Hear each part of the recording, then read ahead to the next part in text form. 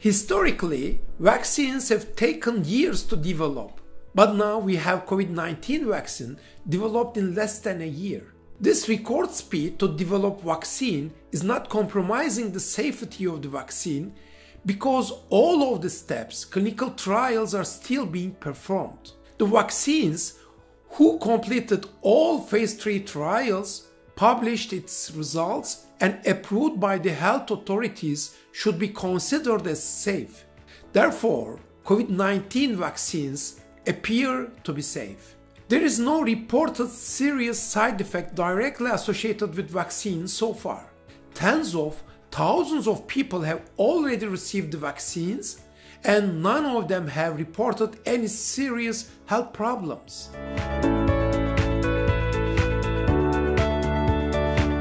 But there are some expected mild and transient side effects. Usually it takes 1 to 2 days to resolve and more common after the second dose. There are local symptoms such as redness, swelling, and pain at the site of the injection, or headache, chills, fatigue, muscle pain, or fever.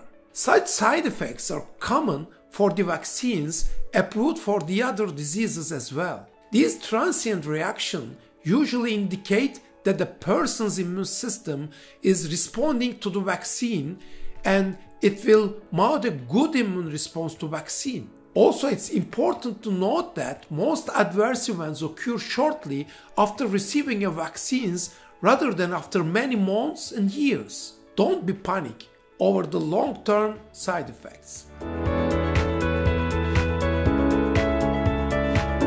A vaccine is a principal step in returning to our normal lives. Developing large-scale immunity through vaccination is key to stopping the pandemic.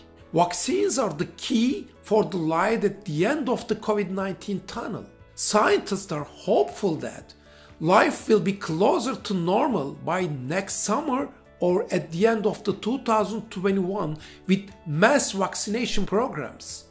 So far, according to the results, the COVID 19 vaccine is highly effective at preventing symptomatic and severe disease. That could be an enormous help in keeping people out of the hospital, preventing deaths, and perhaps reduce some of the long term side effects of the COVID 19. On the other hand, it's important to remember that vaccine is not a magic bullet. It's unlikely that society will return to normal overnight. It will take time vaccinate everyone and reach to herd immunity.